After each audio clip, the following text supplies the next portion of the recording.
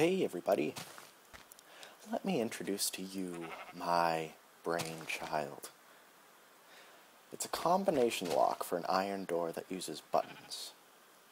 But not only does it rely on the combination in which you press the buttons, but the time in which you press the buttons. Let me go ahead and demonstrate.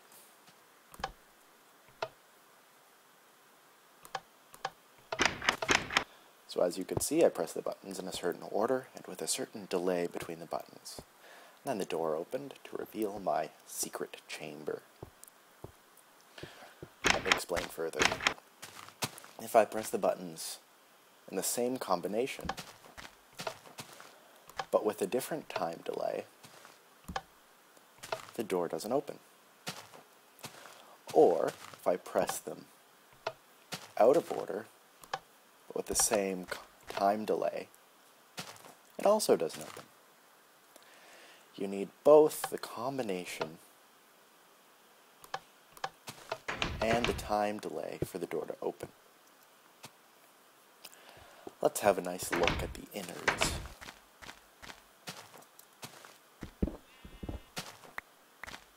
So if you recall, there were two buttons on this side and just one button on this side. Now since this button was the first button, it needs the longest delay.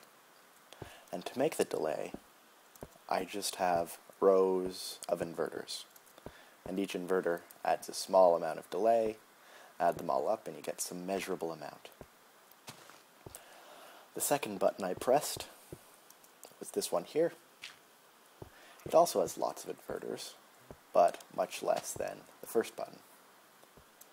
Then the third button is this one, and it only has one inverter. And all of them sum up into this one gate, which goes to open the door, which is behind there. So let me show you one last time.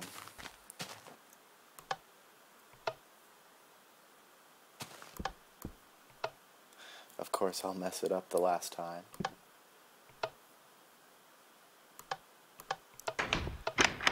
Inside you can store all of your delicious goodies.